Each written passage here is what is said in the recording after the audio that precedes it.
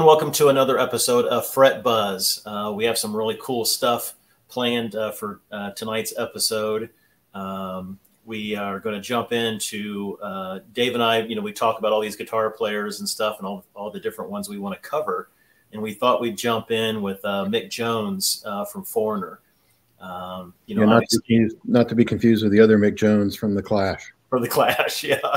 And you know, obviously, you know Dave and I want to first jump in with Ace, but we got to let that one simmer a minute because that's going to be a long episode. Dave and I were just such huge fans as, as kids growing up, and you know we got to do our pull some different things together for these guitar players. So we'll we'll have Ace on another episode. But tonight's is uh, Mick Jones, and you know for those that don't know, uh, you know I know a lot of people don't actually know the names of people in bands, you know, a lot anymore, but you know, you know, five decade, uh, you know, guitar player and producer.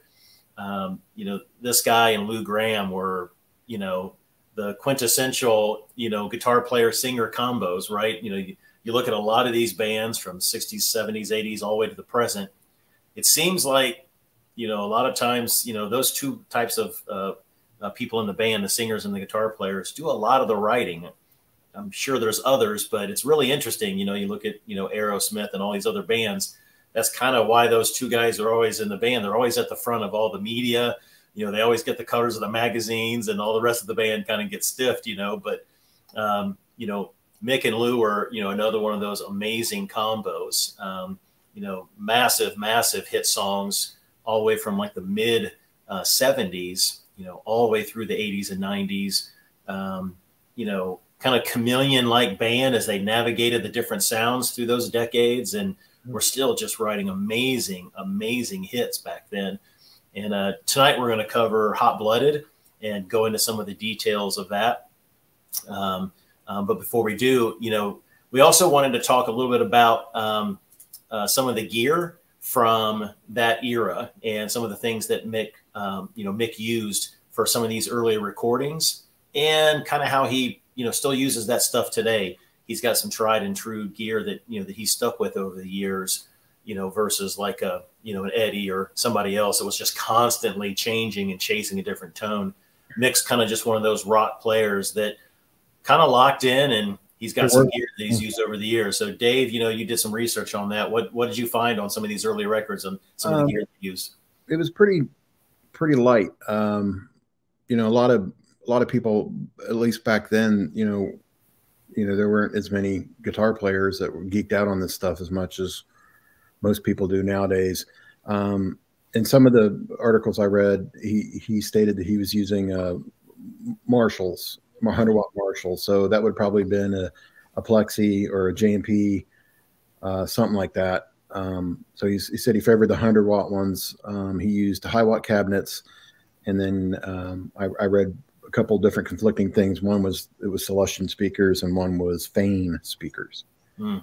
Um, he had a, a, a, 57 Les Paul Custom Black Beauty that had the three pickups. He, yeah, he removed the middle pickup for that because he didn't like it. You know, I never understood the middle pickup thing, but you know, especially in Les Paul, I guess it was just more is better. Kind of you know what I mean? It's like that's exactly where your your, your pick goes. So it's like, it's, why would you want exactly. that thing? But um, maybe you know you know bass players use those ramps too. So in that Floyd Rose guitar too had the ramp thing where maybe yeah. people picked on top of that and they liked. I don't know, but um, you don't you don't hear many people you know giving the rally cry for the middle pickup. You know, right. no, no right. one's really admitting, yeah, the, the middle pickup. Um, That's so true. yeah, so. uh and, and, that's basically it. He said uh, he said that this time he uses the same things as he you know now that he did then. Um, I know he doesn't perform much anymore. Um, he had a heart problem, and then um, he had to. Uh, so, so basically, Foreigner plays as Foreigner without any original members, which is a, a whole nother conversation. Yeah, that we can have about bands that are doing that. But um, I mean, you know, it, my take on that too, real quick, is that you know, if you know, if if it's done justice and it's and it's you know sanctioned by the people that are in the band, you know, I don't see a reason why not. If people still come, you know, just like you said earlier, that you know who you know who knows who the drummer is for Jethro Tull. You know, yeah, nobody, nobody. You know the singer, and that's basically it. So yeah. and the guy they got now sounds just like him. So it's like he does a great job. Kelly Hansen, he does. Um, he was in Hurricane, I think, the band he was in, and from and from the '80s. But um, he does a great job, and you know, um, good old Jeff Pilson's playing bass for him. Still. Yeah, playing bass for him still. Yeah, he's been there for a long time. I think yeah, like almost ten years or something. He's the MD, the musical director too for them. Yeah, so he yeah. has all the key changes and and things and stuff for him. Um, so yeah, that, that's pretty much it about the gear. It's it's a lot of stuff is you know in the, the studio the way it was recorded and you know the hands you know it goes back to the player and yeah um, he did some cool stuff that you know that wasn't really you know the same old same old so that that's right. what stuck out to me it was like him and uh you know cheap trick you know Britt yep. And you know yep, yep. people like that that just they Elliot Easton from the Cars, even even the Cars, man. I mean, yeah. Like they they played things that you could sing, you know. Yeah, yeah. I like the I like the power riffs. You know, back, you know, of course we know we know the recording techniques now, but you know, as kids we didn't know that. But you know, Mick was one of those guys that double and triple, you know, stacked his guitars. Uh, I've got some sound samples we'll get into here in a minute, and it's really interesting. Even though you know back then super high gain amps, you know, weren't really a thing. You know, um, I mean, obviously Van Halen you know, Eddie kind of pushed the boundaries on that quite a bit. You know, once once their debut record came out, and everybody was like, "Holy cow, this guy's got twice as much gain as everybody else." But yeah. You know, but you know, Mick and those guys that were just doing that, just that heavier bluesy rock stuff, and you stack that thing two or three times, you can get some really amazing tones. Uh, even though a single pass on that guitar is a kind of a thin sounding, um, as we'll hear here in a minute. But boy, when you stack those things up and pan them in a mix, they sound really good together. So. Yeah um, pretty amazing. So when, you know, I think, you know, for me, Dave, the first time, you know, me hearing them would have been, you know, early 80s would have been my first time uh, hearing them and just being blown away by just how powerful, um, you know, like you said, you know, kicks and snares, heavy guitar riffs and melodies, you know, him and Lou writing this stuff and producing these records, just a, very unique and different for them. When was the first time, you know, you remember kind of hearing them and kind of going, wait a second, this guy's um, got a little different juice here. What's going on?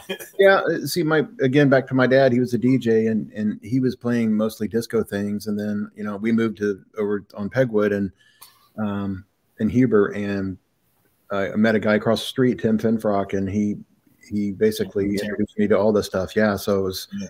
it was uh, my intro to rock, so to speak. Yeah. And, and, you know he was playing that stuff, Cheap Trick. Um, just trying to the one those are the one the two that really stand out. And then and then from there, you know, we went on to the Kiss thing, and then yeah, then Van Halen came along, and yep, yeah, exactly, yeah, yeah. But yeah, I think it's really cool. Um, you know, you listen to these records today, and what I find really interesting is, you know, for those that don't know, you know, Dave and I have, you know, recorded stuff, you know, gosh, over the past, you know, two decades, and you know, there for a minute, you know, I was recording bands like crazy, and and a lot of people don't realize with today's technology, um, it does make it a lot easier to you know to, to make songs with with a band.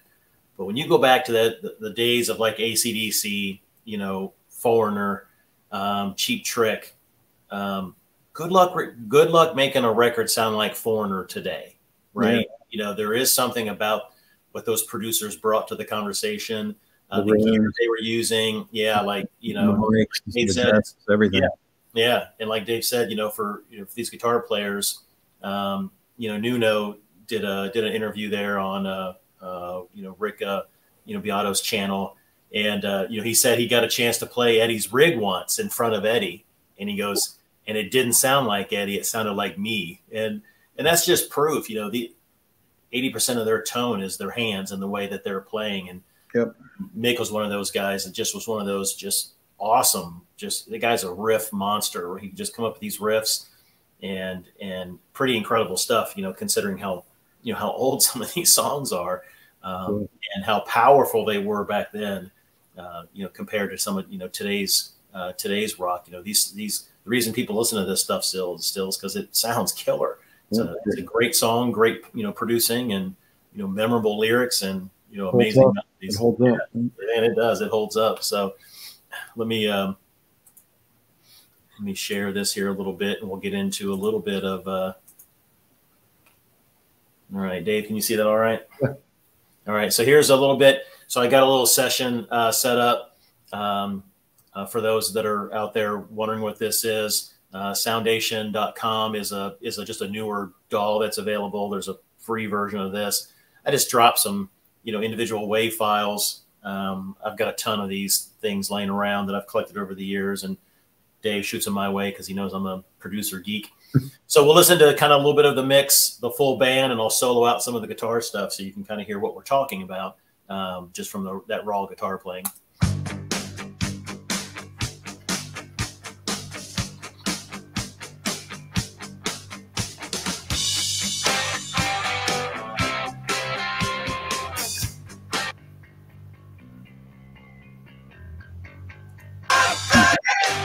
You know, one of the things there, David's pretty crazy. You know, when man, when did this song come out? 79 or something or 80? Yeah. A lot of people don't realize, you know, most people don't realize even back then how much distortion was put on the bass guitars Yeah. to thicken up the mix. And when you listen to this, he's got a lot of distortion on this thing. Yeah.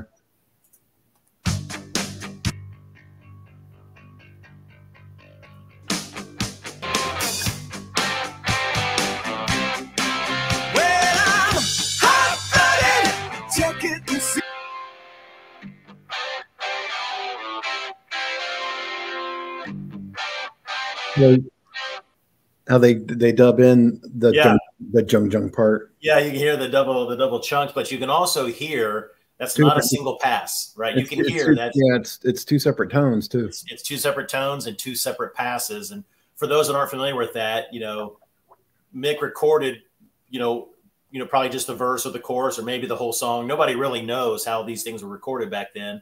You know, a lot of bands in the studio recorded it front to back live together. You know, they didn't start breaking that stuff up uh, into individual parts until way later, like when Pro Tools and stuff came out. But um, you know, you can hear the double stack, but also too, there there is an additional rhythm track that I'll play here that so it's really triple stacked, uh, which was come on my my point earlier. A little chunky there.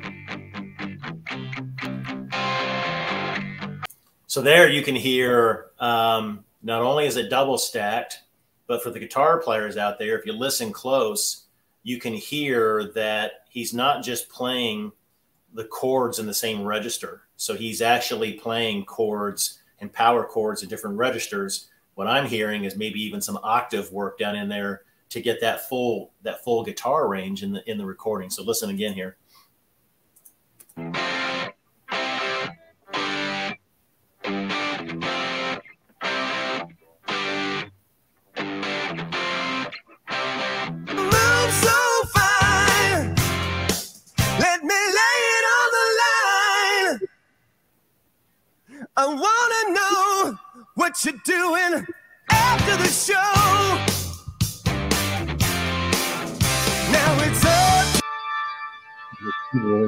Yeah.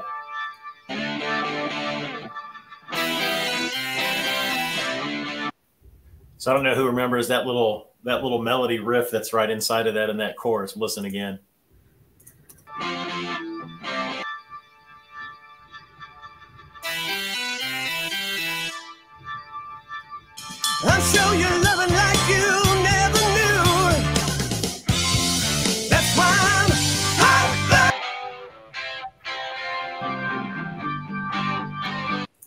Another another really classic um, you know technique uh, back then and a lot of bands still do it to you know today. You know adding that leslie in there that's essentially an electric guitar right? Yeah. it's a keyboard but when you listen to it it's super dirty. The Yeah, same you register, yeah. It's the same range as the guitars. You've got multiple octaves right? So not only are you getting you know the guitar range but you know these those guys are laying heavy on the bass notes too. So between that and the bass guitar you know quad stack guitars essentially because you're adding a fourth pass on that on that leslie that's a really big you know kind of secret recipe to how those bands back then were getting those thicker tones without all the crazy high gain that we have today.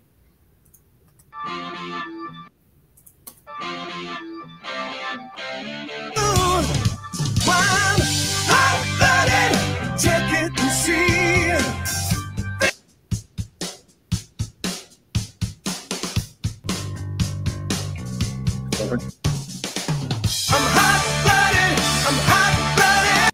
all right, so we'll jump into this this solo here. Um, you know, we'll we'll talk about the solo afterwards, but I'm, I'm going to listen through it all the way. One thing that I want everybody to listen to is out of context. When you listen to the solo by itself, it kind of sounds really sloppy. It's just a bunch of random stuff. But hey, that's rock and roll, right? So, yeah. you know, who knows? Maybe, um, you know, maybe he was out drinking the night before, and it's part know, of the, part of the charm, isn't it? That's just part of the charm. so it's it's pretty crazy to listen to. So here, check it out.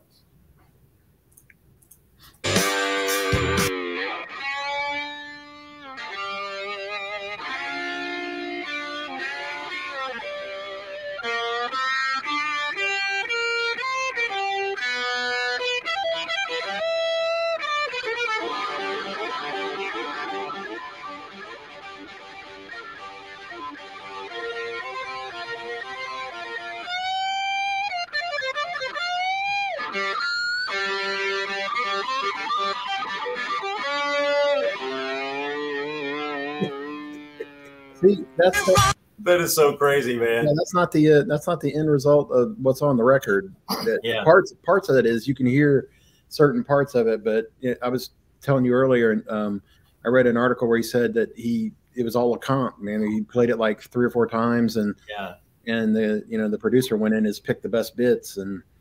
Yeah. The last part especially is is completely different on the record. Yeah, completely different. Yeah, and great great point on you know what the producers are doing even back then, right? So what what Dave means by that is typically the guitar players would just play a solo all the way through. Second pass, they might do the same solo, or they might just, you know what, I'm going to wing it. I'm going to change my phrasing a little bit. I'm going to do whatever. And and the producer comes back and maybe takes like two measures of this, two measures of that, or whatever, and kind of copies them around. Now back then, though, that was a big deal. So there's no no DAW, no digital audio workstation, no Pro Tools. That's tape. So when those producers were doing that back then, they're, they're what they call splicing tape. That was a huge pain back then to have to splice. Well, if they had, you know, if they had if they had extra tracks, you know, they would they would use those tracks and then yeah, they could do that too. And then they would eventually do the splice where they would they take a razor blade and they yeah. The had a little machine that would do it, make yeah. sure it would stay square, and man, they had to get that right on the downbeat because you can't splice that stuff in between a you know a one and a four or whatever you know so you can, like, you can you can mess it up too. You can really screw it up. So it's pretty crazy how it doesn't sound as sloppy anymore right? And it kind of just it blends in with that pocket right? Pocket yep. is the the groove and rhythm of the of the rest of the band right? So he's right in there just hitting on those downbeats like he's supposed to and you know matching up with the rest of the band. Um, another really interesting thing there and dave i want to get your opinion on this after listening to this like you know 20 times in prep for today's session tonight's session man i can hear some ace in there you know there's yeah. definitely some ace influence on some of that riff you know and i was like that is really interesting because not a lot of people used ace as a inspiration because ace yeah. is a really sloppy guitar player yeah i mean it could have been you know they could have had you know, he could have, you know, who knows what they listen to, you know, and each, each, yeah. you know, growing up, and it's just like anything. It's like you're listening to the next person, and and he, you know, they were all borrowing from somebody at that point. Yeah, yeah, that's true. Yeah, yeah. very true. And it, um, this outro chorus is pretty cool too. There's some good riffs in here.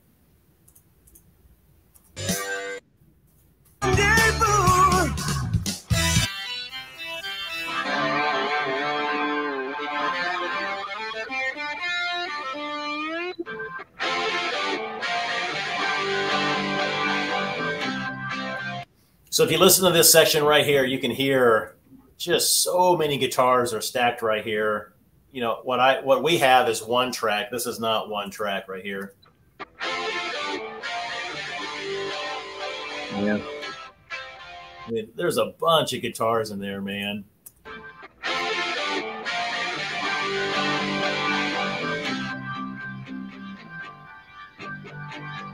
Hundred and three do you do more than dance?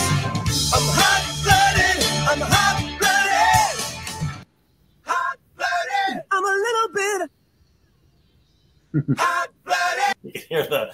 I like listening to the uh, vocal tracks on some of these, uh, Yeah. you know, vocal tracks in isolation because you can hear the uh, headphones. If you listen close, you can actually hear what Completely. Lou is hear listening on his headphones. Blooded, hot Hear it right there. Heard that little. Blooded, hot blooded. I'm a little bit. That's crazy. And the same thing on these vocal tracks. You know, when you hear all those vocals, you know that was this, you know, the late '70s, early '80s, you know, gang vocals, right? Uh, super popular technique again to stack the all the vocal tracks up. Those guys are singing in different pitches. It just thickens up, you know, how you know big and, and wide that those vocals sound. So pretty pretty cool technique there. So Yeah. Yeah. So you know, one of the things too, Dave, I thought was pretty cool was you know prepping for this is when you look at Mick's kind of overall track record, um, and you look at what his history was over, gosh, you know, almost five decades. Um, you know, I didn't fully appreciate um, how much, how much, um, you know, producing that he did outside of Foreigner, and you know, he's got some very notable uh, producing credits. One that I didn't know of uh, until just recently, uh, looking at you know his uh, his Wikipedia article but I totally had forgotten that he produced 5150, you know, Van Halen's record back in 1986. So, you know, that's gosh, a little less than 10 years into into his career, into into Mick's career, and he's producing Van Halen. Like, what the heck? That is just so crazy to me. And then he did some uh, Bad Company, uh, and then he did uh, uh, Stormfront, Billy Joel Stormfront in 1989 which I thought was what the heck? That's just so crazy. And then when you really look at, you know, Mick's, you know, capabilities, right? There's no doubt the guy's just an amazing musician and producer. I kind of I want to get your thoughts on this too, Dave. I kind of he might not be as good as as this reference here, but I kind of look at him as almost like a like a Lukather. You know, Yeah. there's the same way. Like the, that guy played on every every cool record you heard for three decades. You know, Lukather played on. If he didn't write it, he played on it. Yeah. Rhythm, guitar, lead stuff, and everything. You know, and and Lukather produces too. It's really interesting to look at that era and see how many guitar players were kind of cross pollinating under the radar for all you know for a couple of decades on all those different records. I wonder why they did that back then. I wonder why, you know, I mean, like you know, like if you take for instance, like some of the Kiss stuff, the early Kiss stuff, you know, you know, Ace was known to party a little bit, and sometimes he, sometimes he didn't show up. You know what I mean? you know, yeah, he, yeah. he was there, but he wasn't there. So, Yeah. um, they, you know, they had they brought ringers in. They brought people that could that could do it. Um, Yeah, it's like on you know Jesse's Girl. That wasn't him playing it. That was uh, Neil Giraldo from Pat Benatar's Pat band. Benatar. Yeah, Yeah, so it's like that guy's another monster. yeah, it's like so. There's things that you know it doesn't work out, and and it's better that you know a lot of that stuff's uncredited. You know, Yeah. to this day, you know a lot of that stuff that you'll never find out about, but Correct. some of the stuff we're only finding out about. Yeah, You, you can kind of think, you know, like if you think back, some of those solos were a little clean for Ace, you know, that kind of thing. yeah, yeah. So it's like it could be the same thing. Well, I mean, everybody knows, you know, he didn't play a single note on Creatures. Yeah, Um, you know, rumor is he played very few notes on the Unmasked album. So as you kind of peel that back, you're like, uh, Kiss Alive, Kiss Alive Two is the same way. It wasn't really alive. correct. Yeah, that was uh that was the Kulick, right? That was old Bob Kulick was Yeah. like the, the go-to uh uh you know the the hated uh hated way before uh Tommy was hated. But I mean, the, you know, the foreigner was the, they they were he's just a he was just a freaking hit machine there for a while. I mean, he was just pumping them out. So Decades. they become the go-to person, and it's like yeah, Yeah. they end up Right. playing. I can, I can play that part. Let me play it. Yeah. And I think that, you know, what's really interesting too is, you know, when we were growing up and listening to these songs, you know, like you said in the last episode, you know, we didn't have YouTube. Man, it wasn't until the mid 80s we got guitar for the practicing musician, right? And we would get some pseudo tabs, which Yeah. half the half the time you and I learned were wrong. Were You know, wrong. somebody taking a, a best guess right before they printed that magazine, right? Trying to get it to press quick. Correct. And I remember, um, you know, when you and I were first, you know, you know, learning guitar and playing guitar, man, we couldn't we wouldn't be where we're at today without learning some of Mick's basic rock stuff. Like, Yeah. people don't realize it's not easy to blend in with a band and everybody get that pocket together and really lock in tight where everybody's playing, you know, together and you just get that nice, you know, thick, um, you know, aligned sound across the band. And these early rock songs were the foundation for what, you know, you and I prepared for in the 80s when music made a significant shift to way more technical. Obviously, the Yeah. red stuff came in and The click track. obviously gravitated to that stuff, which we've got Yeah. of guitar players we're gonna we're gonna talk about from that era. But Well, you know, the click track was a, a big deal too. Though when it came in, it changed, Yeah. things as well. yeah, and and a lot of these I've imported a lot of these older sessions into Pro Tools and you know try to find you know the the the actual you know beat um, uh, you know beats per minute on some of these songs. It just it doesn't exist. Yep. you know, I would say that wasn't even a thing until way, way later. So, you know, you look at all these old songs, you know, and I and I think that also plays to why those bands had to play them front to back together. Yeah, because um, you know, even you know, Van Halen one is is that it, it's a little bit off of a half step down. Yeah, So It's a little sharp, I think. This is, the Foreigner's a half step too. I thought it was kind of interesting to find that that it's yeah, like Yeah. uh, so a, a lot of bands that you know it's kind of gets ingrained in your psyche. You know, why, why do you like a half step down? It's like because a lot of the music I listen to is half step down, correct. um, and I like the sound of it, and you know, it helps on singers and stuff like that too when you play in bands. But um, Yeah, yeah, it was um, so like you know, I, I can imagine Van Halen just picking up his guitar and strumming it in tune and saying, "Okay, go." Yeah, and the band starts playing. It's like, well, is that early in tune? I don't, you know, correct. Yeah, close enough. yeah. The Dokken stuff did that as well. There was a lot of times, even on the same record, and those guitars they weren't a full half step sharp or flat. They were right in between, and Mhm. I always wondered, like, all right, was that because they had an issue with transferring the tape, you know, to the master, or was that too many beers the night before? And I remember when I was a kid and, and I was learning this stuff, you know, all I had was a, a record player. And so it was like, I was thinking, well, maybe it's my record player. Cause I had my tuner, a little tuner, banana tuner. I still got one of them, but it, uh, I'd be in tune with that. And then I'd go to play with the record and it would be like, it didn't sound right. And it's like, it was because, you know, I think it was my record was off, you know, yeah, yeah. the record player's not playing perfectly at the speed that it needs to be. correct, yeah. You know, and then come to find later, it's just they, they tune different. They're just two different. Man, what was that? Uh, what was that device? I remember, God, dude, this would have been, you know, early 80s, 83, 84. You got a hold of some device that we could, we could half the speed of the songs. It was a, it, it was a, um, wasn't the was cassette, the mini cassette recorder? Yes, that's right. Yeah, it had those little bitty a- tapes those little small cassette tapes. That's Yeah. right. Yeah. and, it, so and, it, and it flipped it in half. And half yeah, so basically what Dave would do for us because we were all banging our heads trying to learn these faster Yes, yeah. solos, right? It was impossible to learn these solos. Um, so he would he would record that into that mini recorder because you couldn't get the whole song a lot of times. So he'd just Yeah. take that solo part and then we'd go over to his house. You know, there'd be a bunch of us and we'd be literally sitting there listening to it. it, yeah, be listening to it, and Dave would be like, "All right, man, where the heck is this guy at?" So because it was it was half speed, you could actually, and you knew it was an octave too. It was an octave off. So It was an octave up, yeah. yeah, it's always an octave. So we, we could actually articulate those notes and be like, okay, now we got at least a basic framework of what scale he's using, and we could you know get in there and learn those songs. And that was you know that was And, and, you know, it, a lot of that helped develop your ear too, because it's like you can hear like certain things, like like whether they're hitting an open G, you can hear that Yeah. string ring, Yeah. or they're hitting a power chord or something. You can, correct. you can discern between those things and their hand positioning. You could Yeah. determine. You had to figure out well where is their positioning at, depending on the sound of the notes versus Yeah, reading a tab or watching them on YouTube. Oh, that's what he's doing, you know, that kind Yeah, of thing. yeah.